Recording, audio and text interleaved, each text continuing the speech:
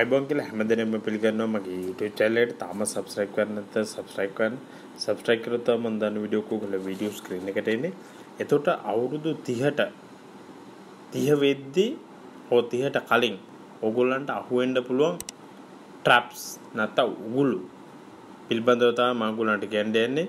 මොකද අවුරුදු 30ක් විතර වෙනකොට යම් යම්කිසි මට්ටමකට ඔයගොල්ලෝ ඇවිල්ලා ඉවරයි. ඒ කියන්නේ අවුරුදු දැන් 20 ගණන් වල මොනවා හරි ඉගෙන ගන්නවා ඕ යම් කිසි ජොබ් වලට යනවා ඕ යම් කිසි ස්ථාවර මට්ටමකට ඇවිල්ලා තියෙන්න පුළුවන් තෙහි වෙද්දි. එතකොට ඒ වගේ අවස්ථාවල ඕගොල්ලන්ට අර සල්ලි තියෙනවා එක්කෝ යම් කිසි ආදායම් මාර්ග හදාගෙන තියෙනවා නැත්නම් එක එක දේවල් කරගෙන තියෙනවා. ඒ නිසා ඒ වයින් ඕගොල්ලන්ට අහු වෙන්න පුළුවන්. ඕ පසුබෑම් වලට ලක් වෙන්න පුළුවන් නැත්නම් තියෙන සල්ලි නැති වෙලා යන්න පුළුවන්. මෙන්න මේ වගේ දේවල් ඕගොල්ලන්ට කරන්න කිව්වා. ඒක ඇවිල්ලා පළවෙනි එක ඇවිල්ලා දරන්න බැරි හවුසින් ලෝන් ගන්නවා නැත්තම් හවුස් එකක් ගන්නවා. ගෙයක් ගන්නවා. දැන් සමහර කට්ටිය පිට කට්ටියට පේන්න නැත්තම් ගෙවල් ඒ කියන්නේ වටේ ඉන්න උගුළු ගත්තොත් එහෙම වටේ ඉන්න කට්ටිය ඉන්නවනේ. වටේ ඉන්න කට්ටියට පේන්න එක්කෝ ගෙදර අලුත් ඇඩිය කරනවා වට පිටින් Tamanට දරා ගන්න බැරි වෙන්නේ. හරි නැත්තම් කොහෙන් හරි හොඳ නාගරික ප්‍රදේශයකින් ගන්නවා දරන්න බැරි ගානකට කෝටි ගණන් වල. හවුසින් ලෝන් ගහලා. මේක ඇත්තටම බොරු වැඩක්. ඔය පොඩි පොඩි ගයක් ගන්න එක තමයි හොඳම වැඩේ.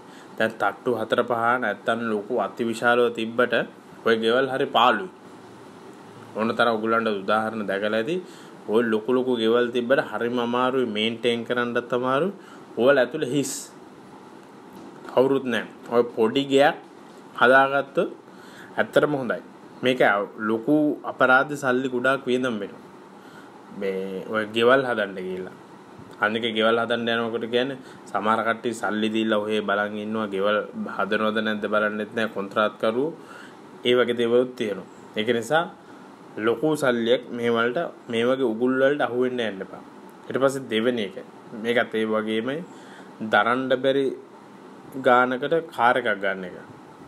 දැන් Tamanට ලක්ෂ 30 නම් තියෙන්නේ ආය බොරුවට ලීස් දාලා ආය ලක්ෂ 60 70 ඒවා ගන්න යන්න එපා.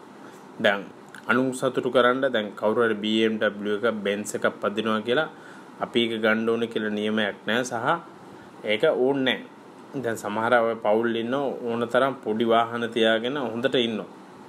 මොකද පොඩි Tamanට දරන්න පුළුවන් එකක් ගත්තොත් තමයි ගොඩක් කල් දුවන්න පුළුවන්.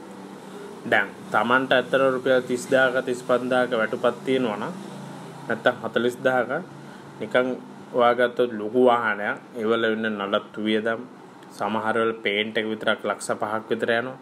ඊට පස්සේ මාස 3 නැත්තම් කිලෝමීටර් 5000 සර්විස් වලට රුපියල් ගත්ත රුපියල් 30000 40000ක් යනවා නම් ඒතර ඕගොල්ලන් හිර වෙනවා. අනිවාර්යෙන් හිර වෙනවා.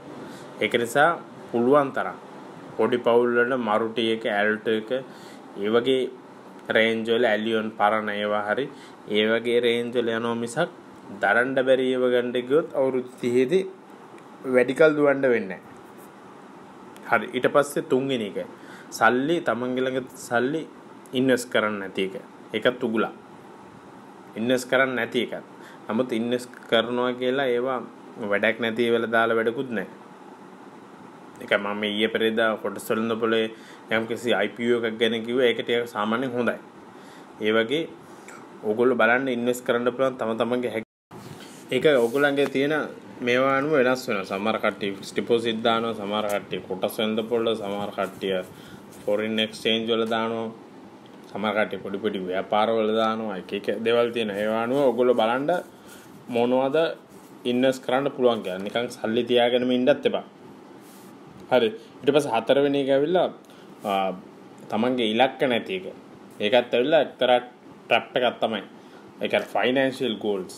තමන්ට ඉස්සරහට මොනවද තියෙන්නේ? වයස අවුරුදු 35 වෙද්දී ලක්ෂ 60ක් හොයලා තියෙනවා.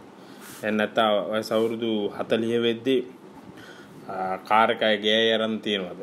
නැත්තම් ඔය වගේ ෆයිනෑන්ෂියල් ගෝල්ස් හදාගෙන තියාගෙන මේ මේ தත්ත්වෙදි මොනවද? එහෙම නැත්තම් ඒත් අවුලක්.